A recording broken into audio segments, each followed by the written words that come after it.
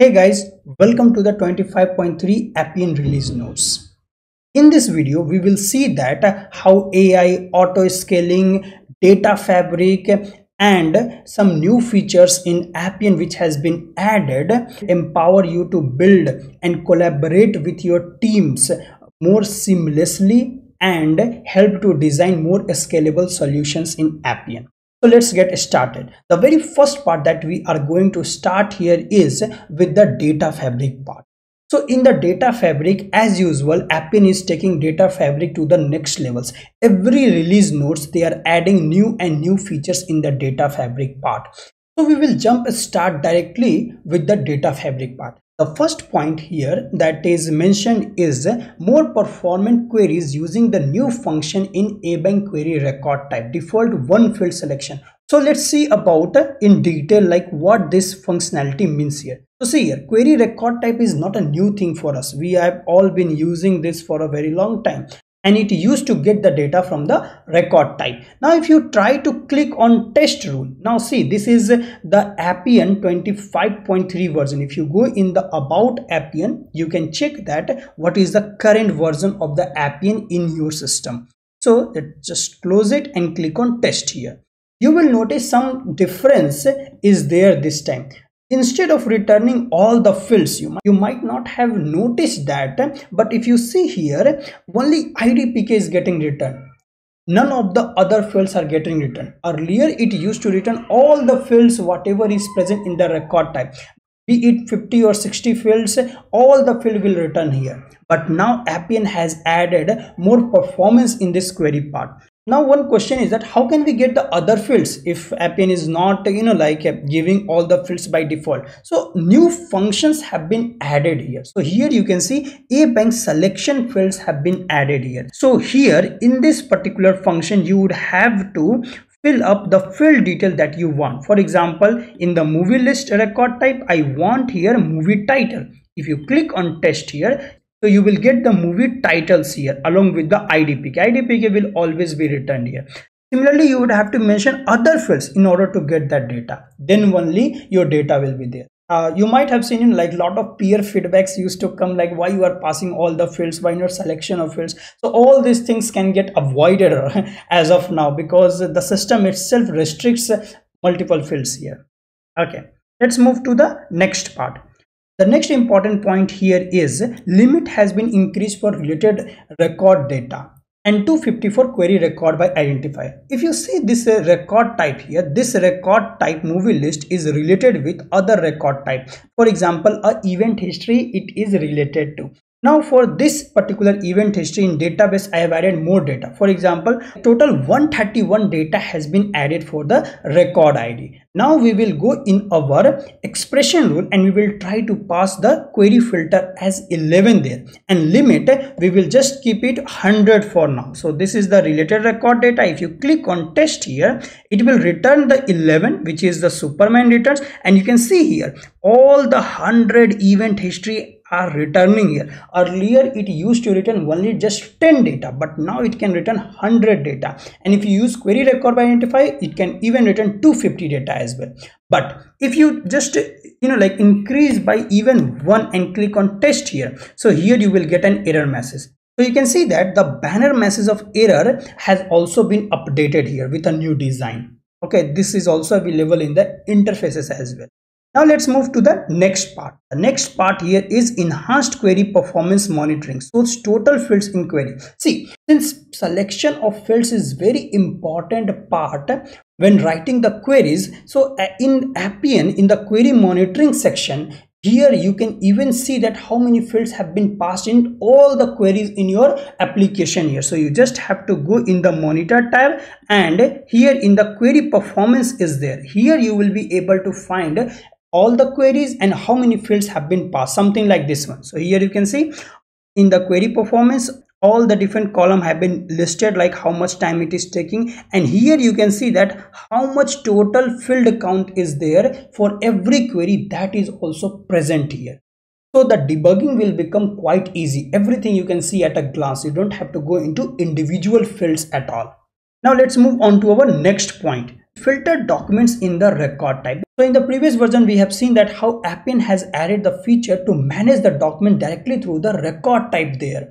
Now we will see that what are the new changes in the documents record type so here if you see here our current data model is mapped to to a list document record type there if you go in this particular record type it is mapped to a document as well and here you will find a dedicated type for the documents part so basically here if you will go you will see that some of the features have been added directly in the record type itself which can be configured from admin console. First is the list part. Whatever the documents that you have in your system you can directly uh, filter the data directly from itself. Like when the document was created uh, who has created it what are the different file ex extensions are there. You can sort the data as well. You can download it everything. So here you can see all these features have been added here. So that is about the list part. Second is the configuration part now in the configuration part, automatic document cleanup is there. Let's say that in your project, the documents are not getting stored in Appian. It is getting stored in SharePoint, AWS or somewhere else as well so you want to clean up the documents from appian. So either you can do directly from the admin console here. Some configuration can be directly done from here. Or for this record type you can configure here as well like do you want to schedule document cleanup? Yes. And when you want that 30 days.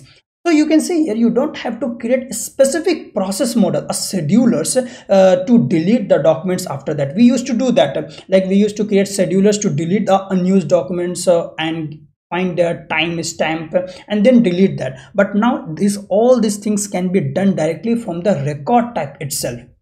So it is a huge enhancements over the last features and it really helps a lot in order to free up the server memory.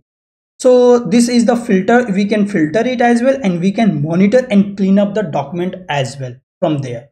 Now the next thing that has been added in the record type is that now you can schedule incremental syncs on the database backed records as well so basically if you go in the record type, if you go in the sync options, Appian has redesigned the sync options. All the options that you will see, it has been changed here. So earlier we used to see the sync options something like this one here. So here you can see that sync options are present there and here one list of components we can see here and the generate web API here. So it has been revamped here into this part here. And apart from that sync filter has also been added here earlier it used to be part of the data model itself but now this you can add the sync filters here.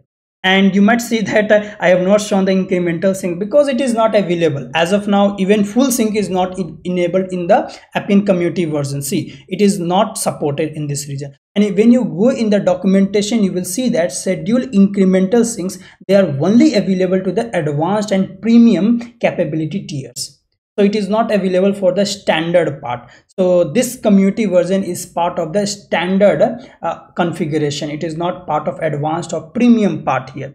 So that's why like we cannot see these changes here. And multiple other changes are also part of this one. Now the next change here is calculate business process metrics with record events now Appian here has added few custom record fields directly in the record type. So when you will go in the record type you will see a message something like this one here. So you can see that here add business process metrics custom record field to this record to calculate duration. So basically it will calculate your duration like what is the maximum time what is the minimum event time stamp what has been the total duration for that and when you try to create this these three events will get created in your record type something like this one here. Minimum event maximum event and duration and once you try to configure it since this are custom record field you don't need to upload data for that. Directly you can see that in the record type. So you can see a minimum event maximum event and what is the duration that has been captured here for each record event that i have. If they have event history so they will get captured here. So minimum and maximum they have been added here. And this you can access from the custom record field as well. If you go in the custom record field here you can see that calculate duration is also there which is directly Appian is even suggesting you to add it here. So this all these three are already I have added that's why it is disabled as of now. So this was the custom record field here. So similarly calculate duration we can add it here now coming to the actions part here now in Appian, action has got a lot of changes there. When you try to generate record action in Appian, you will get much more functionalities while configuring the action itself. Earlier it was a straightforward like you select the process model and Appian will generate the record action. But this time it has got a lot of new features. You can select how your actions will look like. Just click on generate record action here and you can see like multiple action you will get it. So this is as usual as previous. Click on next here. Now this is the important part. Here you will be able to see the record types which will be added as part of your record action. So it will even create the interface. Now it is asking that in the interface do you just want the movie list or you want the movie list documents as well subscribers as well something like this one? So it will create a table grid for you as well and it will configure them click on next. You will see something completely new. And see here is the template part. Now the template is a completely new feature which has been added. So with the help of ai it is giving like what is the recommended template for you. So here you can see a form title is there. Wizard has been added. Here step by step configuration is added. Step 2 and not only that if you are configuring single step form in one form you want all the things. So you can see here section 1 is there with the form section 2 is with editable grids so here minimal design and bold design. These are the two main designs see here this is also bold design. This is the minimal design. Everywhere you will find this kind of bold and minimal designs here. Now multi-step wizard do you want to make it? So different type of wizard as well you can get it here. If you want it like wizard form step 1 to 3 so you can get it. Step 2 or 5 as a text we can get it here. Now as a horizontal wizard we can get it. You just name it and and see. So many configurations are available here. So your ui is really going to look a lot better than previous. All these things we would have to do it manually but uh, these things are now coming out of the box. So you don't have to face errors or anything else as well. So here you can see a new sidebar template has been added here. A lot of designs have been added here in that so record actions has got a lot of new changes now the next important change is create translation strings from record type. So in the record type, if you will go here, so here, for example, genre is there or movie title. I want the movie title in some other uh, language here. So you can select or you can create your own translations directly from the record type here. And you can select the locals which is available. So you can see here lot of different things are available let's say like japanese or something we have selected primary is japanese just created. So here you can see here if i have selected that regional language translation superman returns what would be the note for the translation? What should be the description? This is the primary name.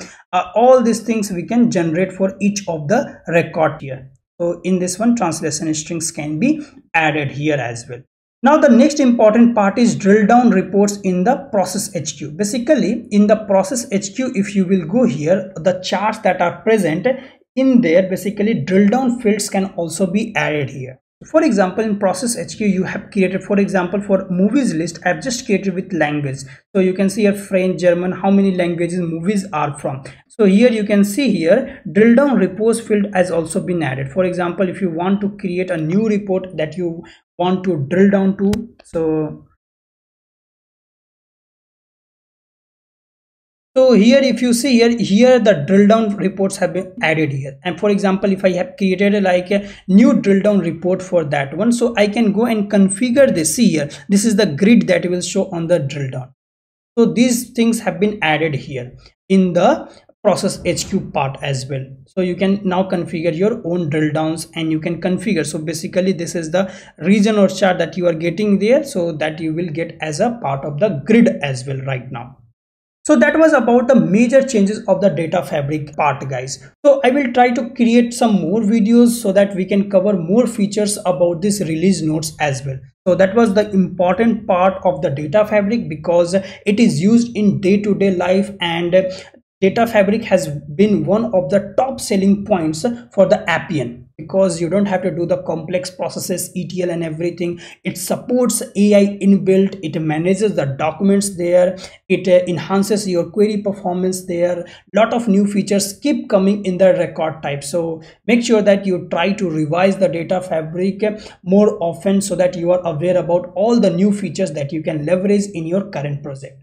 So that was all for now guys. We will try to continue in our other parts. Thank you